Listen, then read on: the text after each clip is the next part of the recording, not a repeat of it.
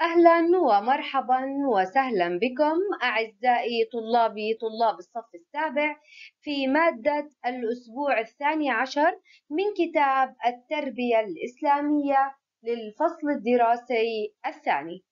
قبل أن نبدأ لابد من التعرف إلى أبرز الأهداف المرجو تحقيقها من هذا الدرس. إذا أبرز أهداف درسنا اليوم هو التعريف بما سنتناوله في هذا الأسبوع وكيف سنربطه بالمواد الأخرى.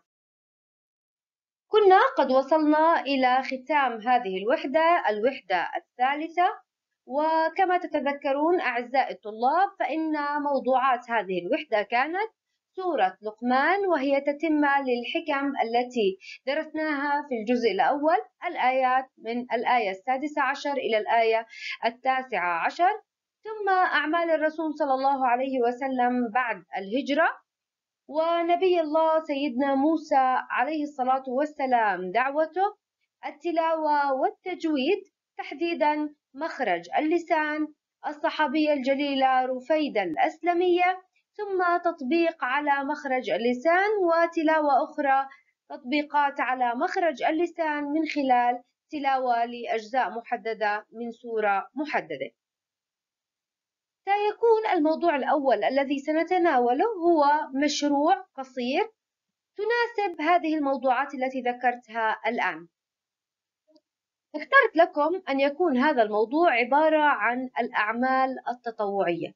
فإذا تأملت الصور المرفقة أمامك ستجد أنها جميعا تدل على أو نستطيع من خلالها التوعية والحرص على أداء آه، عمل ينفعنا وينفع مجتمعاتنا. فمثلا قد نساعد الأطفال في مرحلة معينة ونوعيهم إلى أهمية العلم والتعلم كما قد نشارك في حملات تنظيف المكان المدرسة ساحة المدرسة أو قد نساعد فئة معينة من آه، فئات المجتمع كذوي الاحتياجات الخاصة. اخترت لكم موضوع سهل ونأخذ فيه الكثير من الحسنات خاصة أن موضوعات وحدتنا تناسب هذا المشروع وسأرفق لكم معايير تقييم المشروع في الصفحة.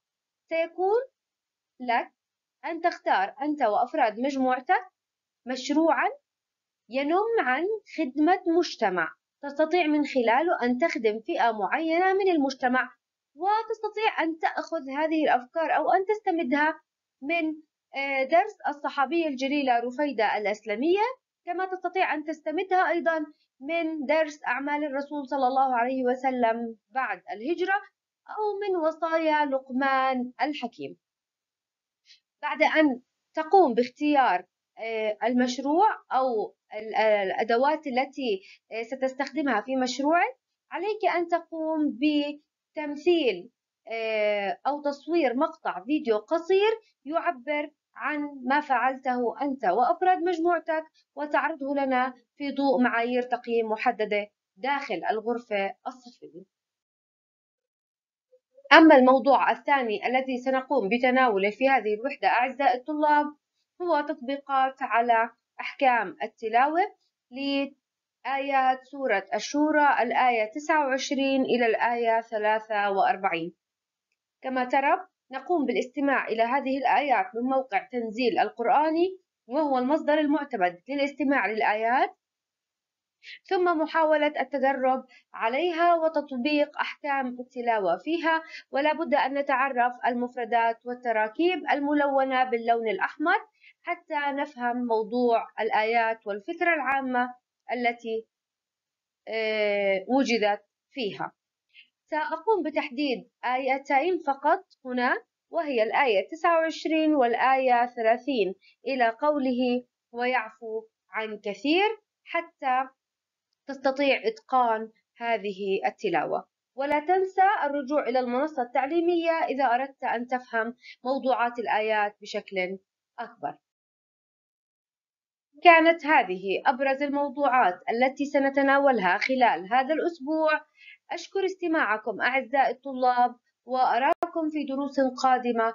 طبتم وطاب يومكم بكل أمل وحب.